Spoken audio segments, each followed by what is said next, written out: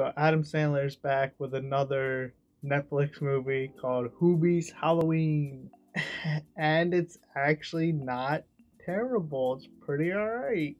So we're going to talk about it. So Hubie's Halloween, currently streaming on Netflix, is another Adam Sandler joint.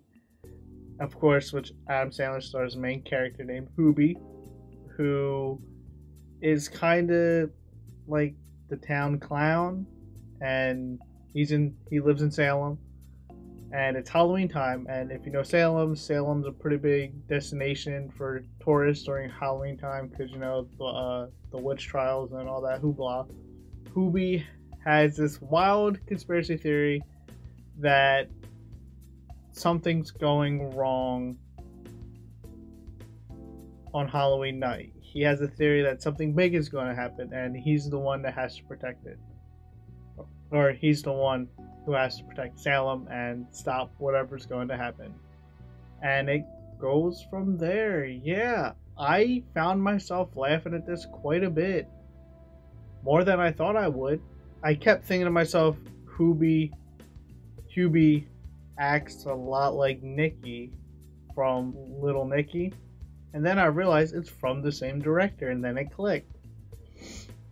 But yeah, Adam Sandler, he has a shtick. He has a character that he goes to quite often, a character like like this. It's fine. We all know he can act extremely well when he uh, chooses to. And this stars the standard Adam Sandler groupies, I guess you want to call them, like Steve Buscemi, Rob Schneider, uh, Kevin James. They're all in this.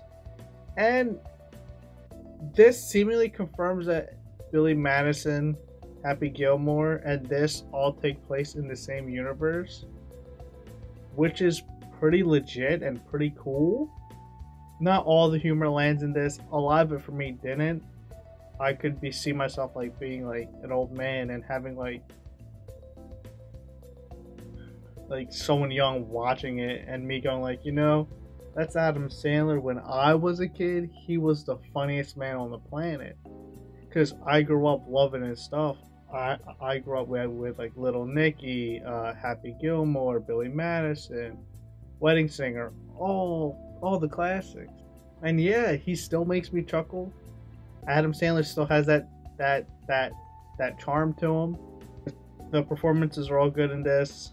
Some are a little goofy, but like I think they're supposed to be a little goofy. And I love any film set during Halloween because that just increases like set design and props and practical effects and all that good stuff. And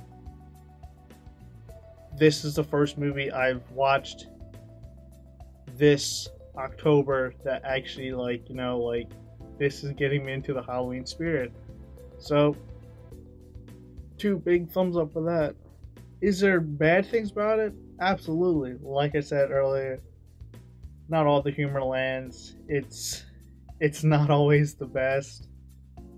But there there is some really good snappy dialogue.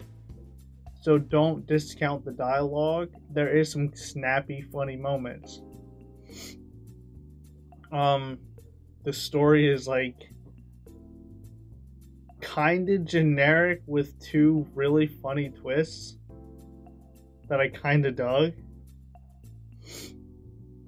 And it's just if you've seen an Adam Sandler movie, especially his like recent stuff outside of like Uncut Gems, you know what he's getting. You know what you're getting into. Like you know the type of movie you're gonna get. It's a charming movie with a good message, with strong themes that just makes you feel good inside. And that's what most Adam Sandler movies do.